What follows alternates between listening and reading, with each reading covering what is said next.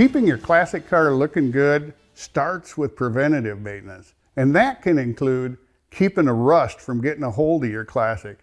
One of the things that you can use to you know, stop rust in its tracks is like a cavity wax. You know, 3M makes a great product. Also, there's products on the market by Fluid Film, uh, Noxudol, and some others that do essentially the same thing. They're sort of a protective coating that doesn't get hard, not like an undercoating. It, it stays soft so it self-heals and it prevents moisture from actually getting to the surface.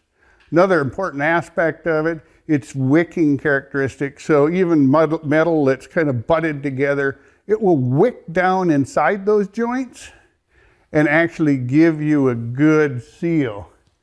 Uh, the great thing about the cavity wax is that I like is it offer, you know, it comes with this broad fan tip. And it's great for spraying the back sides of the rockers or even the underside of the car.